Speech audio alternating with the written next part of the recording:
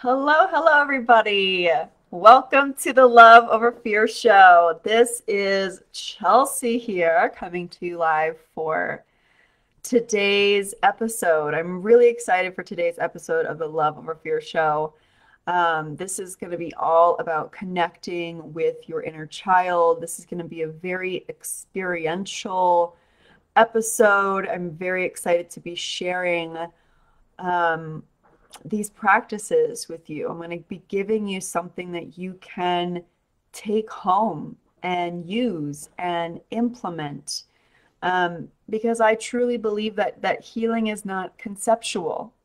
Healing is embodied, right? Healing is something we live. It's how we breathe. It's how we move the, the world. It's how we behave. It's how we respond. It's not just knowing things conceptually. It's actually living in a new way, responding to our emotions, meeting ourselves differently, showing up in our lives, in our relationships differently from a place of love and compassion instead of fear and overprotection.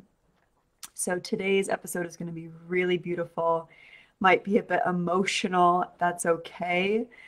Um, we have to be able to be with our emotions in order to truly heal. So if you're with me live, say hello, connect with me. I'm very excited to be here. Taking a sip of tea. And I think I'm just going to dive in today. I really want to get started and share what I have with you today. So, again, if you're with me live, if you're watching live, please do feel free to interact. I love hearing from you. I love reading your comments. I love the interaction. Um, hi, Yasmin. Thank you. Um, my whole world is digital. so it's really nice to even have the live interaction. Hi, Chris, uh, even in the digital space. So, how about we all take a breath together. Whether you're watching live, whether you play, let's just pause for a moment and take a conscious breath. Maybe this is your first conscious breath of the day. Just pausing, slowing down, breathing intentionally. Hello everybody joining and let's let's dive in.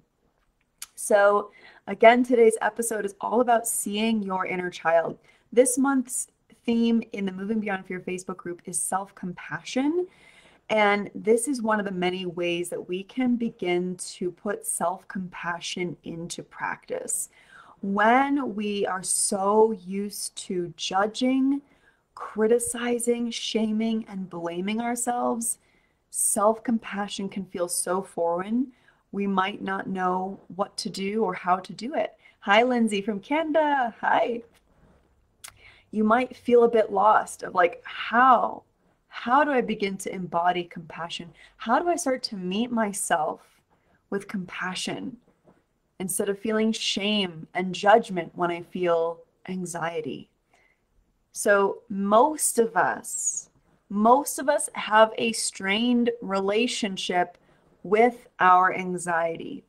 Most of us feel shame when we go into anxious spirals.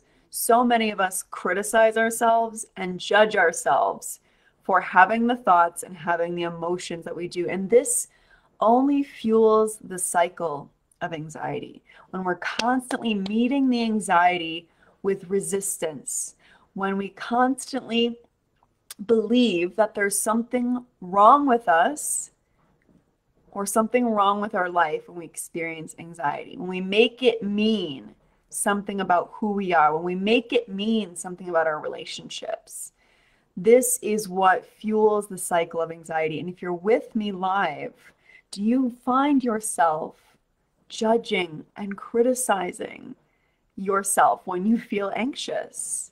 Like, oh, I shouldn't be feeling this way. I shouldn't. Be, ah, I hate that I have this thought. I remember I said out loud one time when I was in the thick of my anxiety. I just hate myself sometimes. I hated this about myself. I hated that I was constantly in my head. I hated that I couldn't just be present in my relationship I hated that I felt tormented by my thoughts. And that was my relationship with my anxiety. Was one of resistance, shame, and judgment. I was layering judgment and pain and suffering on top of the suffering I was already experiencing. And it just made the whole experience feel even more unbearable.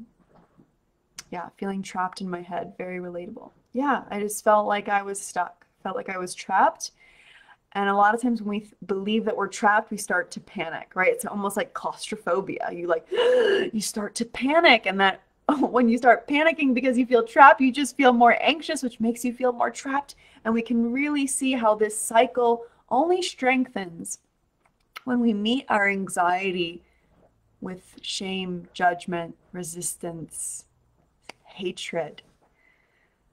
So, today I want to give you a completely new perspective on how to see and relate to your anxiety so that you can start meeting yourself and your anxiety with compassion. Yes, I hate that I don't feel safe in my relationship and hate not having positive feelings more often. So, this is the current pattern, and this is actually fueling the anxiety. This is fanning the flames. When we say, I hate that I experience this, because we're, we're telling ourselves that we shouldn't be feeling this way, and the fact that we are, that means there's something wrong. And oh, there's something wrong with me. I, I shouldn't be feeling this way. What is wrong with me? Why can't I? Why can't I? So, I want to give you a completely new perspective today on your anxiety, one that will allow you to soften to soften around your anxiety instead of go, ah, right? When I think about criticism, judgment, shame, hate, I just think of like, ah, you're just like bracing yourself, you're clenching your fists and your jaw.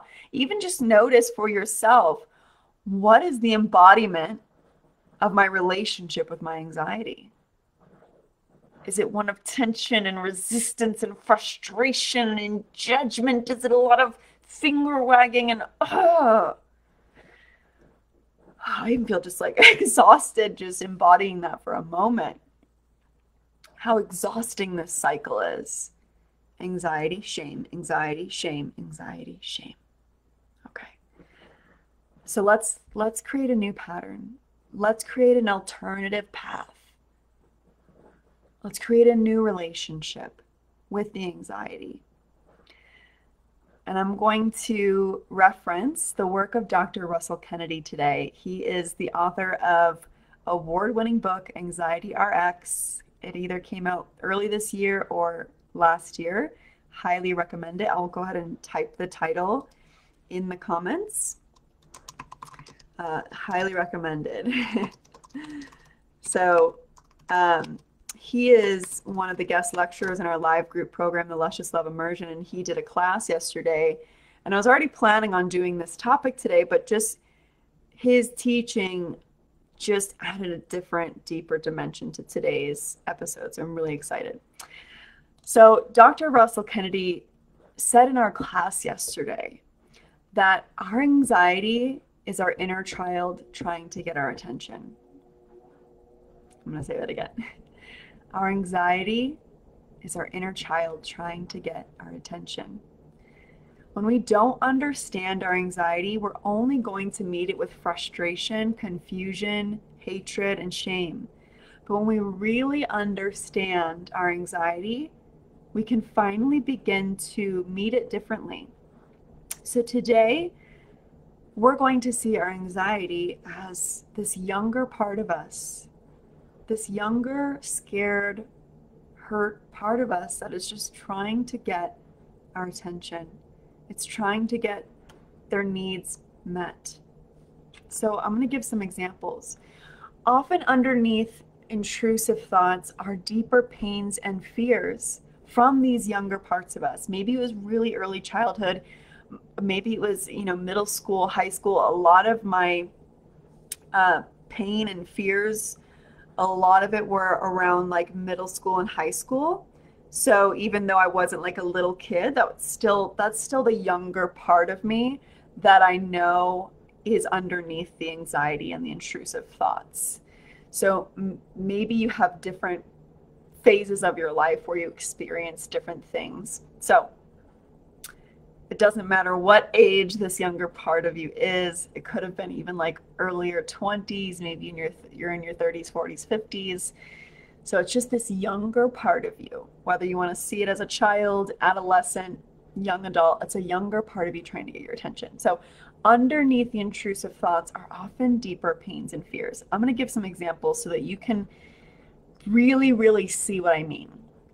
So, say you have an intrusive thought that says, I'm not attracted to my partner, or that person is more attractive than my partner. And you feel that sense of anxiety and fear around that thought. Underneath that intrusive thought of, I'm not attracted to my partner, or other people are more attractive than my partner, or my partner is not the most attractive person in this room right now. Let's go underneath that intrusive thought. And what I often like to have my clients ask themselves is, what would it mean about you if you didn't have the most attractive partner? Well, it would mean that, like, I picked someone not very attractive. Okay. And what would that mean about you if you didn't pick the hottest, smartest, whateverest partner? Well, that would mean something about me. It would mean that, like, my choice wasn't the best choice. And my choices are a reflection of my worthiness. So if I don't have the most attractive partner, I'm unworthy. I didn't make a good choice. I didn't make the best choice, the perfect choice. So, as we can see, just that intrusive thought alone, often underneath, is feelings, deeper feelings of unworthiness. Let's pick another example. Intrusive thought of, what if my partner leaves me? Okay, let's go into it. What if your partner left you? Oh my god, I would feel oh I would feel so much pain. I would feel oh my gosh, I would be abandoned. I would experience loss and grief. Okay? So really underneath that intrusive thought is pain around being abandoned. Feelings of loss and grief. So underneath each intrusive thought is often a deeper emotion, pain, or fear. And what we often do is we stay up on the surface of the intrusive thought and we try to figure it out. How can I make sure my partner never leaves me? I'm going to check their phone. I'm going to analyze their text messages. How can I make sure that I'm always attracted to my partner because they have to be the most attractive partner? They have to be the hottest person ever, the hottest person I've ever dated. How can I make sure that I'm making a good choice. When really what's underneath are these deeper pains, these deeper fears. And the most common pains and fears that I see in doing this work with hundreds of clients experiencing relationship anxiety, the most common fears and pains that I see underneath the intrusive thoughts are unworthiness, right? Fear of failure, fear of, fear of making a mistake is really unworthiness, feeling unworthy, believing you're unworthy, not wanting to be seen as unworthy by yourself or others or God, fears of abandonment, and fear and pain around grief and loss. I'm afraid to lose my partner and experience grief. And often, these emotions are rooted in experiences from when we were younger, where we did learn that we were unworthy, where we did experience abandonment, whether physically, emotionally. Our parents weren't very loving or affectionate, so it felt like they were distant. And in a way, they were emotionally abandoning us. Grief or loss, you lost a family member as a child, and, and no one really talked about it. Or maybe you you had an ex in the past and they left you. And so that younger part of you, that younger version of you, is still carrying that grief and that loss and that pain. These younger parts of you that experienced such pain that this pain becomes stored in the body and manifests as anxiety. Someone asked a question Can you go beneath the intrusive thought of questioning your feelings for your partner? Um, give me the exact thought. give me the exact thought. Let's do it. I'm not going to do this for everyone, but um, you know, giving the examples I'm sure helps. Give me the exact thought, the scary thought that you have so much anxiety around. Give it to me. mm. And of course, you know, when we go into this together, you might, it, it's going to be more specific, but I'm just going to give some general examples of what I have often seen when people have these kind of intrusive thoughts about, you know, do I really love my partner? do I love my partner enough? Are we in love enough? Yeah. So I'll just go with that example. Like, do do I really love my partner? Okay. What would happen if the answer was no? What if you didn't really love your partner? oh my gosh, I, I, don't know if I really love my partner. I don't know if I really love my wife. That would mean if I don't really love them, then that obviously means that I have to leave them. And if I have to leave them, I'm going to experience all this pain, grief, and loss. Or, or I'm going to hurt my partner and they're going to hate me. And that would make me feel really shitty and unworthy. So underneath is it sounds like maybe fears of loss and pain. If you've lost someone before, or fears of being unworthy because you hurt someone and that makes you a bad person. So you want to make sure because we learn in our society that that uh, relationships are only rooted in feelings of love. So when you're taught that relationships are only rooted in feelings of love, and that's the one thing that keeps you together, then that's the one thing you're going to focus on your feelings.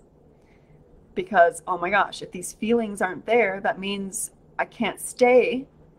And that means I'm going to hurt this person. They're going to hate me and they're going to think I'm a piece of shit and that I'm a shitty person and I'm unworthy. And here we go. So, again, common underlying pains and fears unworthiness, abandonment, grief, and loss. Okay? And these are usually rooted, these are younger parts of ourselves that are carrying and storing this pain and looking around oh God, I don't want to, oh God, I don't want to feel that again. Oh no, but what if this happens again? And oh goodness.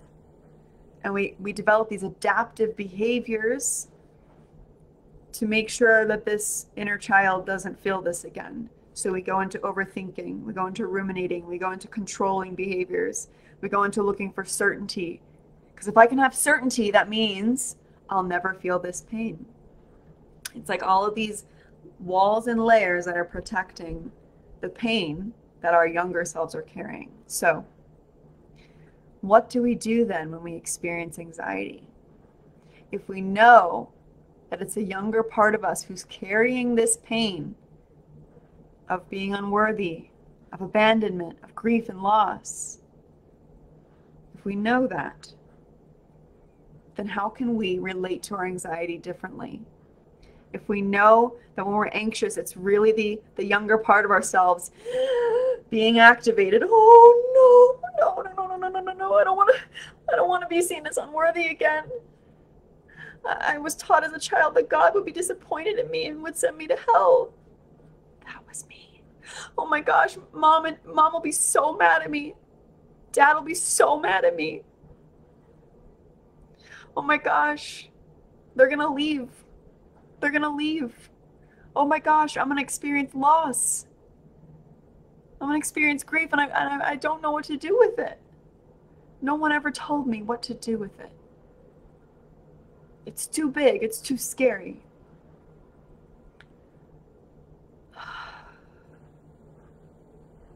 That's the younger part of us crying out, saying, No one ever saw this part of me. No one ever tended to this.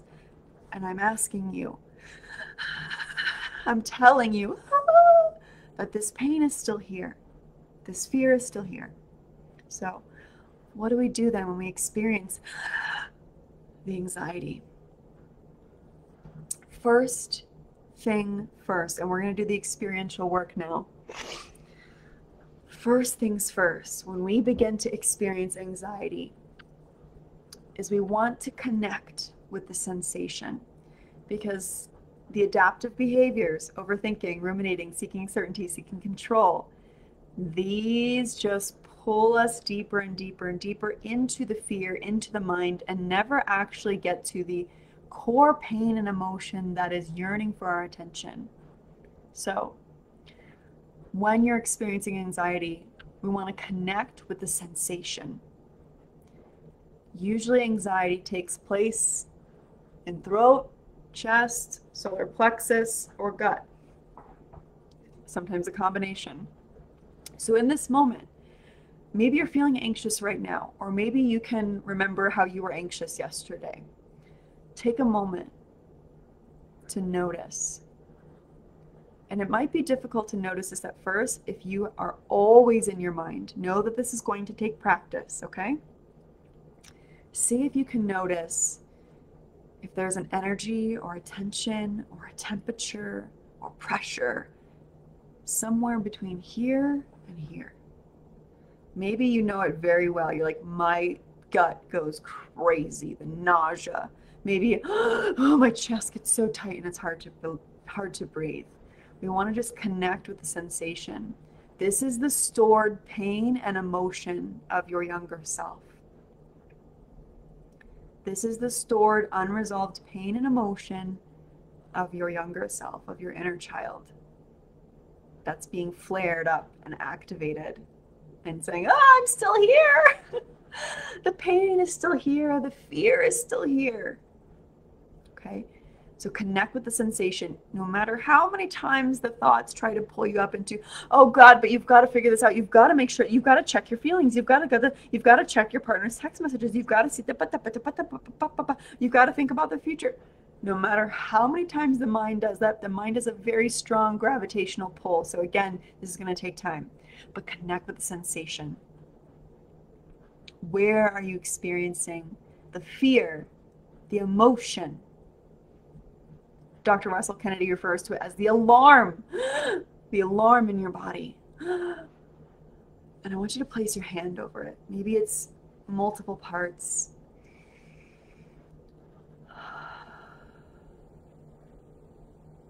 Just create some containment and some holding and some support for this inner child, this younger part that is feeling all of this pain and fear and emotion.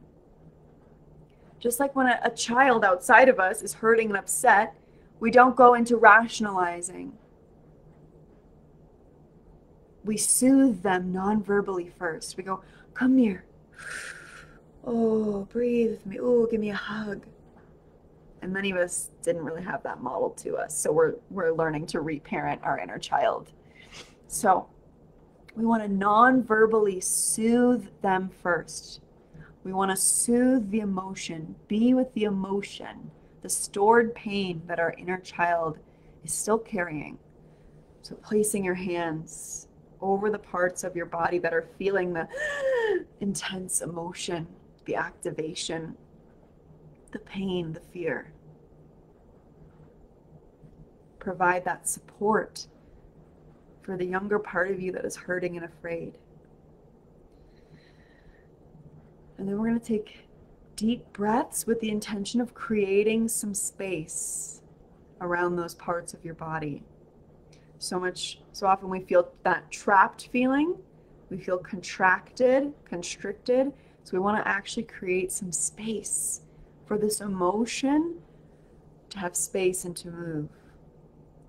So just if it helps, you can close your eyes or just focus on one thing and just feel space being created in your body as you breathe.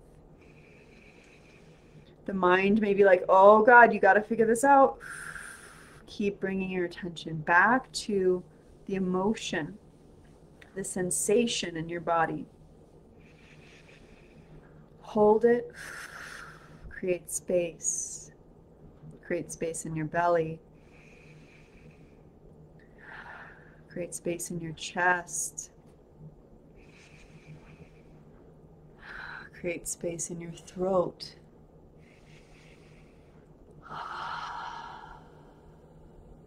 And you're going to keep doing this until the intensity of the emotion begins to feel like it's softening.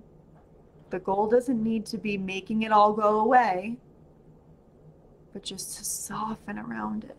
Just like you would soothe a child who's scared. Maybe you begin to provide nurturing touch to this younger part of you who is feeling afraid, who's still carrying this pain. Our first step, do not skip this, is to soothe and regulate the pain, the fear, and the emotion. Because you have already lost access to clear and rational thinking when you are in this place of alarm, fear, and anxiety and emotion. So trying to think at this point is useless. Okay? So we're just going to focus on soothing. Maybe you need to like move a little bit. I often have to kind of like open my chest because I feel a lot of anxiety here. It feels like that trappedness. So I create space by moving my shoulders lengthening your spine. Maybe you feel collapsed and powerless.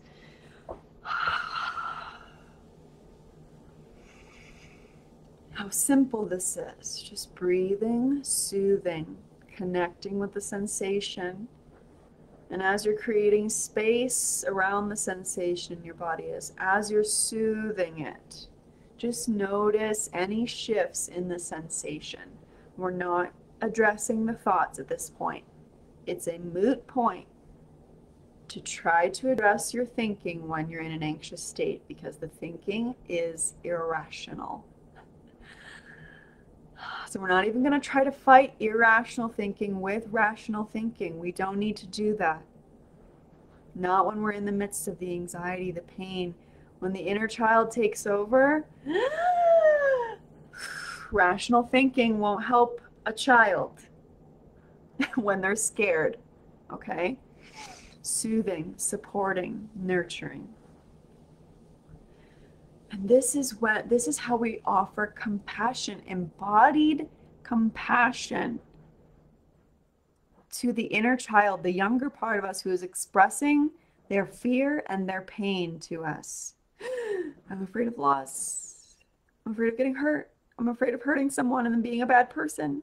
I'm afraid of being unworthy. I'm afraid of disappointing God. I'm afraid of disappointing other people.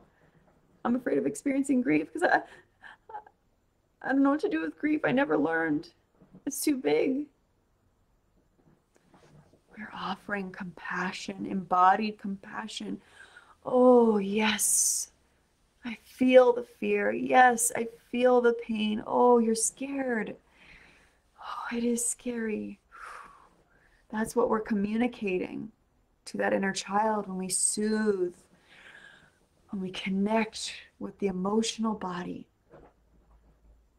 And you're going to stay with that until you feel like the intensity has come down a bit, until the thoughts aren't screaming at you anymore, until the sense of urgency has calmed down at the height of the anxiety, that feeling of urgency is really intense. And it goes, Oh, you got, you got to figure this out. Oh, God. Oh, God. We want to ride that out, soothe the emotion, the pain of the younger self, help that part of us feel safe. And only after we feel more regulated, only after we feel like we've kind of like, oh God, woken up after the inner child has taken stopped driving the car and wanting to crash it. Then we can become curious. We can become curious about that inner child's pain and fears the younger parts of us that are carrying that pain and fear that's being activated right now. And we can ask our inner child are you willing to share with me what that was about? Why it felt so scary to you to lose someone? To not pick the right person, to make a mistake? Are you willing to share with me why that feels so scary? And see how I'm approaching it with a place of neutrality and curiosity. If you're still in that, this is not the time. We want to wait till our rational brain comes back online and we can have this curious, neutral approach. Are you willing to share with me why it feels so scary to make a mistake? Are you willing to share with me why it feels so scary for someone to leave you? And initially, the inner child might not yet be ready. The inner child might not yet trust you. The inner child might still be too protective. But keep asking. And eventually, the younger part of you, the inner child, may say, I just, I always thought that if I made a mistake, that God would be mad. Oh. When did you learn that? I learned that since I was six years old. And then I learned it again. And then I learned it again. And then I learned it again. And then I was rejected when I made a mistake. And then I was yelled at when and shamed when I didn't do things perfectly. Or then I saw my mom and dad fight, and my dad would storm out. And I felt so scared. And now I'm always scared that someone's going to storm out on me. We begin to slowly understand the pain that these younger parts of us are carrying. It's not all going to come flooding in at once. It's a gradual process of your inner child beginning to trust that it can reveal these very sacred wounds to you as the adult. You're now the adult. And when we get anxious and panicked and we can't see clearly, the inner child is taken over. So when we soothe and regulate, we step back into the adult that is present, and then we can relate to the inner child and say, Whoa, why did that quote on the internet make you so scared? Whoa, what was it that you were feeling? And then in those moments, when the inner child says, I'm so afraid of getting hurt because it really sucked when I was bullied. And I'm always afraid of people rejecting me. And so I kind of push people away before they can even get close. Because I learned that if I'm myself, I'm going to get made fun of.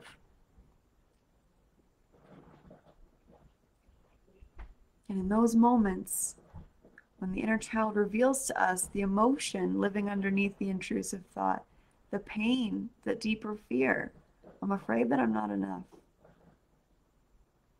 then we can have corrective experiences with the inner child and we can go, Oh, I love you. What do you need from me as the adult in this moment? What did you need then that you didn't have? I needed someone to just hold me.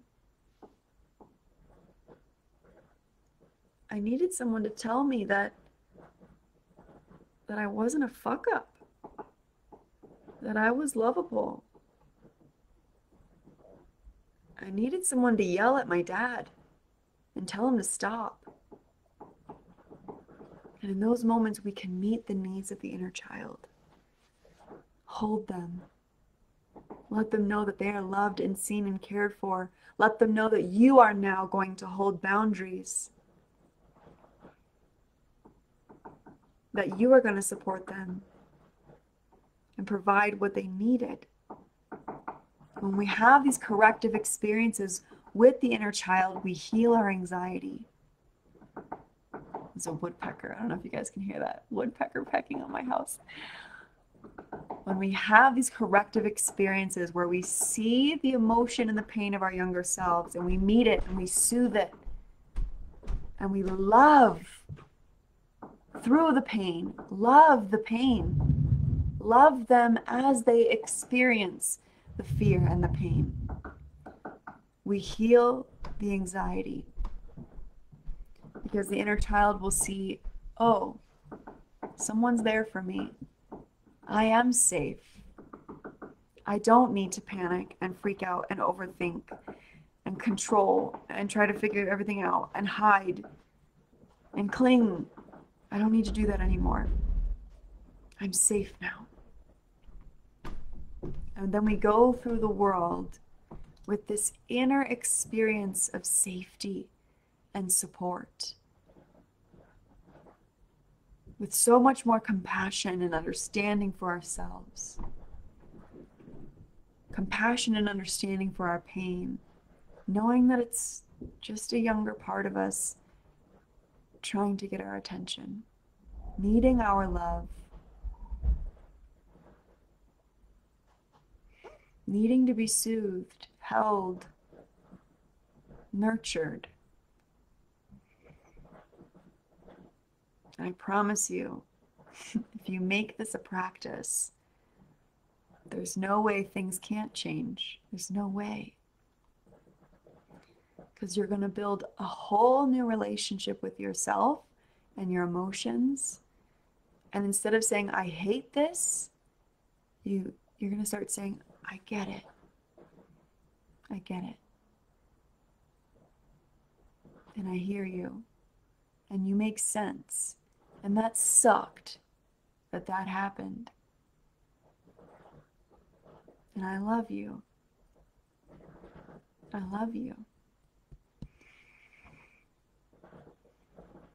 And then that love that is created within your own self begins to overflow. It overflows into your relationship, into your life. And then you begin to understand other people's behavior. Maybe your partner is getting all frustrated. Maybe your partner feels scared. And then you, you begin to know there's probably a younger part in there that's still carrying some pain. And therefore, I don't need to judge them because I don't judge myself anymore. I don't shame myself anymore. So therefore, I, I don't shame anybody else. And the level of resonance and congruence that you will experience in your body mind is it's freedom It's freedom.